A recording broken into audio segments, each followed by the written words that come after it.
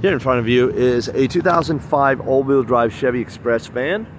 Uh, it is running right now, so I'll go over everything on the van with you. So there's uh, some dents and scratches, of course. It is a 2005. It has been used. So hood, you got dents over there, all around.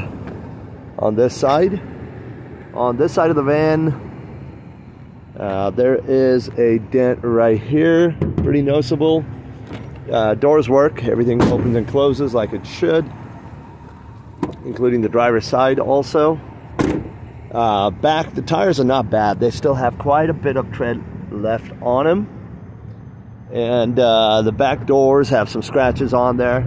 I'm pretty sure this was used as a work van, so uh, looks like uh, you can definitely put some decals on it, cover it all up, or repaint it if you wanted to. Here also at the bottom, you got some scratches, dents. Um, and it does come with a roof rack. You can see that on there. Probably had uh, some stuff on there for ladders, uh, other details. Interior, let's go ahead and start from the back. It does have your shelving system. So, double doors the back, barn doors. This one comes with three sets of barn doors on the sides, on both sides right there, and on the other one. Uh, and you got your shelves also at the back.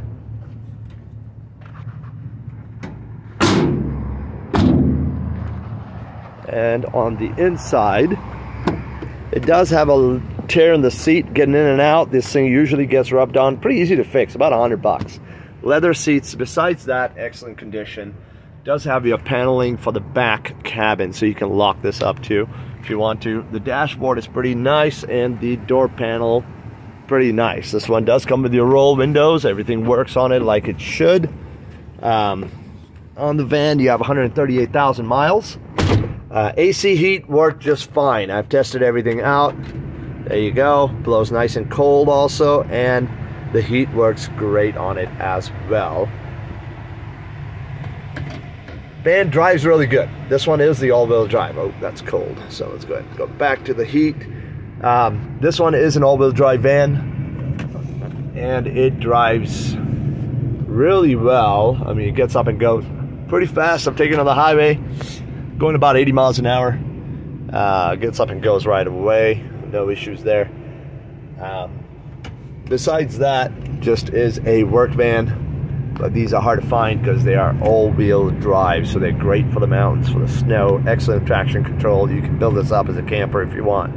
Uh, there's a lot you can do with this.